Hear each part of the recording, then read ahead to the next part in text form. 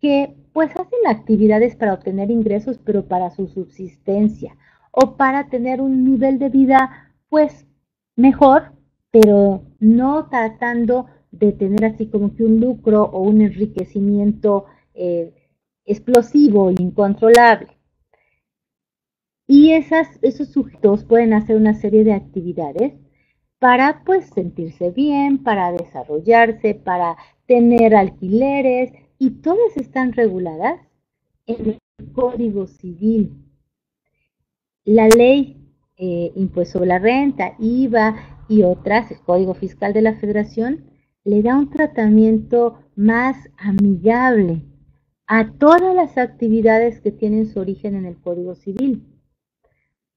En sentido opuesto, de pronto las actividades empresariales, sean realizadas por personas físicas o por personas morales, tienen como que un tratamiento más agresivo, la ley considera que fueron hechas eh, ese tipo de, sociedades, ese tipo de actividades que se realizan en un objetivo de obtener recursos y no tanto de la subsistencia, no tanto de la ayuda a otros.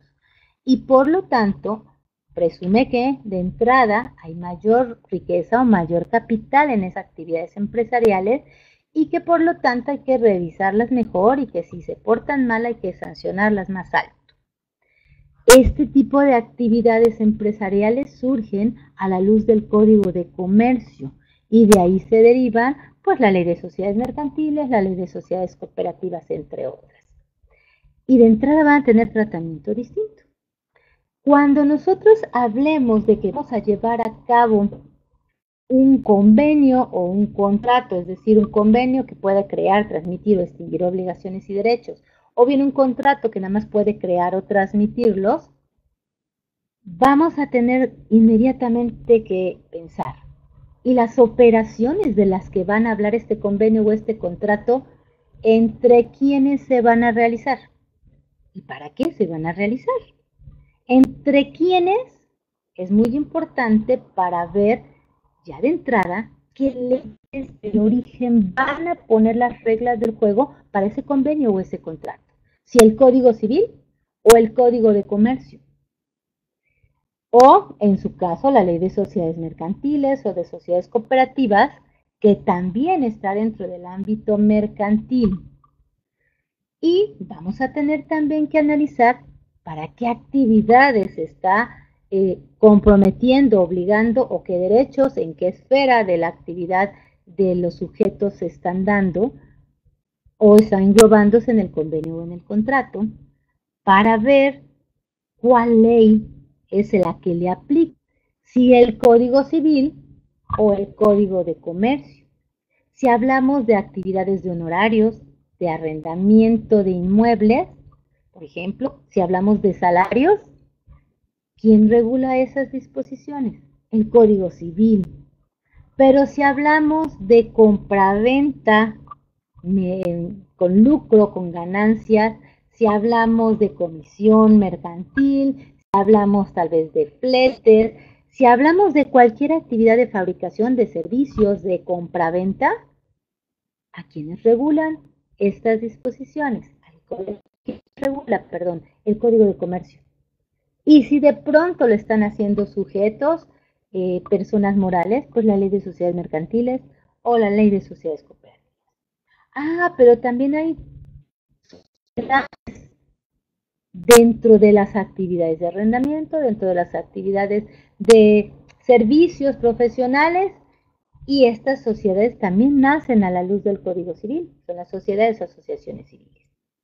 Y en principio, si son sociedades civiles y obtienen ingresos o si son personas físicas con arrendamiento con honorario, pues van a poder hacer convenios y van a poder hacer contratos. Solo que sus actividades, cuando analicemos cuáles son las consecuencias, las obligaciones o los derechos que tienen en las leyes tributarias, encontrar que tienen ayudas de menores tasas de impuestos, de más exenciones, de más facilidades administrativas. Y sin embargo, las actividades y los sujetos que llevan a cabo funciones mercantiles, vamos a ver que no tienen tantas extensiones, a veces no tienen, que no tienen un tratamiento más amigable, que no tienen plazos mayores y que sobre todo en muchos de los casos las tasas de impuestos son inclusive más altas, porque la autoridad considera que son sujetos más fuertes y que tienen mayores recursos económicos y por lo tanto pues tratarán de obtener una mayor recaudación de ellos. Por eso hay siempre más revisiones en los sujetos que están eh, surgidos a la luz del Código de Comercio que los que nacieron con el Código Civil. Pero fíjense bien, ambos pueden hacer convenios y ambos pueden hacer contratos.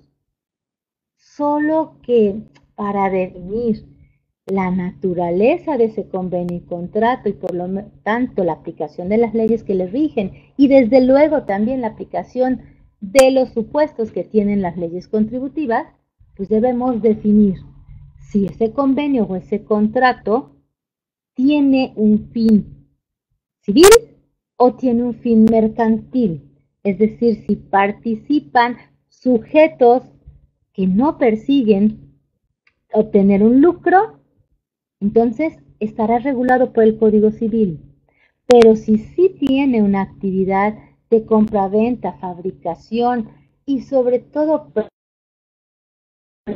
pretende obtener pues una, una ganancia, entonces estamos hablando de que seguramente va a estar regulado por el Código de Comercio.